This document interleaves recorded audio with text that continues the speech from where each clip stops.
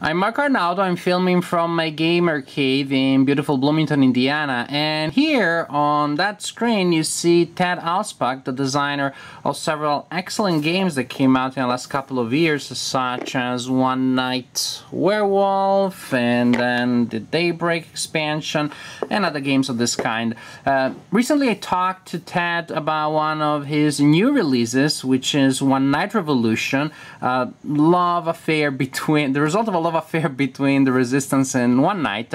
And then I, I learned that actually he has another game on Kickstarter right now. And I'm the worst person that there is about Kickstarter. Like, all my friends know that I'm not good at following what comes out or what's out there available. I I had no idea that you had another game out, and so thank you, Ted, for informing me and my viewers about your campaign. So, what is this game about, and what's Sure. what's what's the game? So, brand new game uh, called One Night Ultimate Vampire. Ooh, Um, and so it's a prequel to One Night Ultimate Werewolf and Daybreak.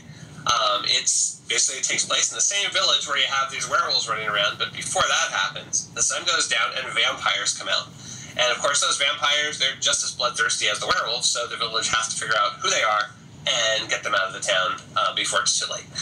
Um, it has similar mechanics to One Night Ultimate Werewolf in that you've got everyone gets a role card of some sort. They're either on the village team or on the vampire team.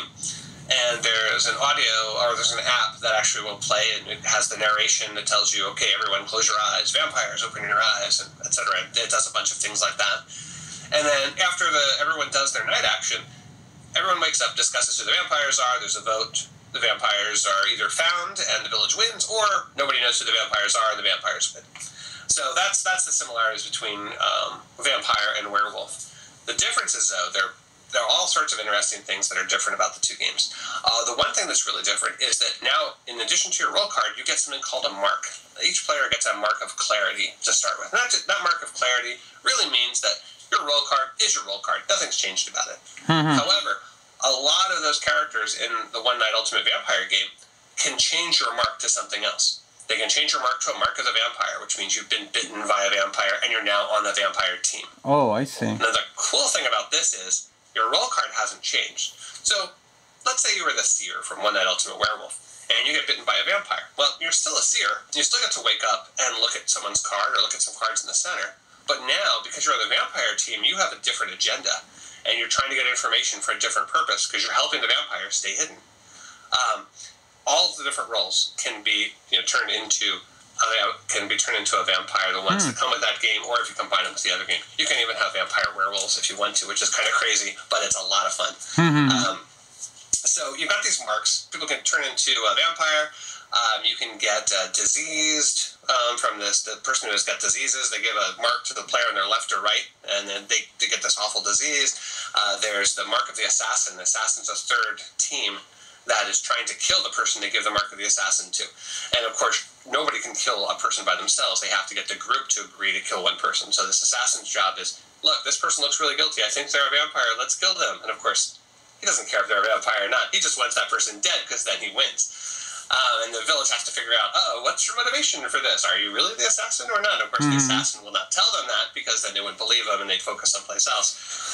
And again, you could have a situation where the assassin is bitten by a vampire and he's a vampire assassin.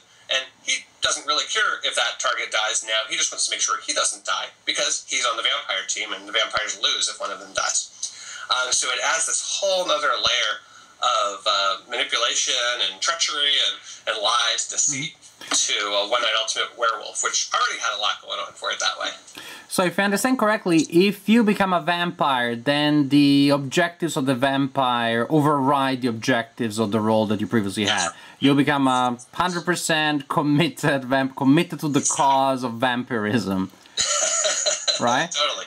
Which you know it makes sense. It's and it's that's the nice thing if you watch majority of movies and TV shows that have vampires. Once you're uh, Yeah. converted into a vampire, suddenly your priorities change. You're no mm-hmm. longer hunting those vampires. You're protecting the other vampires and yourself, and making sure those people who used to be your friends stay away, or you can eventually convert more of them into vampires. you know, Yeah, yeah. progresses. Absolutely. Yeah, I, I just been re- I just finished reading the the Stain the Strain trilogy came out a couple It's of years ago.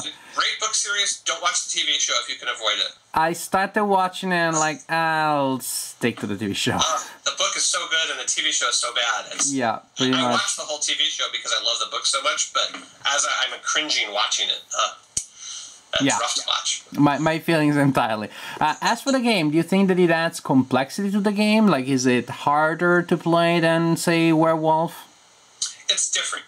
Mm-hmm. Um, it does add another mechanism, but it's a really simple mechanism. Um, one of the things that we do with, with all our games, we try to test games, especially when they're expansions or sequels, in this case a prequel, to an existing game. We test them with people who've never played any of the previous incarnations of that game. And so we did that with this game quite a bit. And we found out that there was no there was no issue with people just getting on board right away and playing it. You can start with One Night Ultimate Vampire. You don't need to have played Werewolf or Daybreak 1st Um, if anything, it's probably a little easier than Daybreak. Daybreak has some rules that are a little more convoluted that do some more deeper, more interesting things. Uh, this this has a variety of roles, but overall, I think it's probably on the same level as One Night Ultimate Werewolf, or a smidge uh, more. Not enough for anyone to go, "Oh, this is hard," you know, in, in any way. And it is on Kickstarter right now?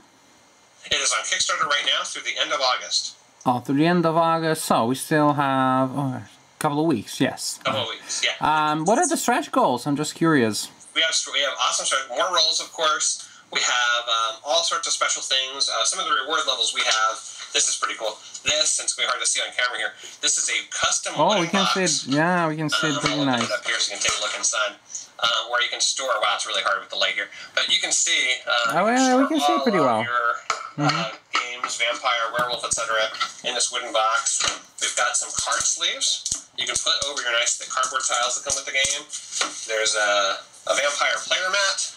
Oh, I really like the art on the vamp. I mean, I like the art on also the other games, but I really like it. It's simple and cartoonish without being too cartoonish. You know, like uh, humorous without being too cartoonish. Oh yeah. We even have this very cool. This is a aluminum sign you can put Uh-huh. it outside in your game room. That's basically a little warning sign here to help Aw. people out. Um, you know, hopefully they have an elevator in their house. If they don't, I I Uh, need that. you know, I need I need that. thing. A lot of different stuff on the different reward levels. A lot of stretch goals with different roles and enhancements to the app, and a lot of other things uh, going on there. I need that sign for my office on campus. When my students come to my office, they see that. It's that's a good So warning. I love that. right jump on the Kickstarter. Yeah. Absolutely, absolutely. I'll, I'll go. I'll go and have a look right now. thank you so much, Ted. It was a pleasure talking to you, and thank you for telling us about your new project. Bye. Thank you.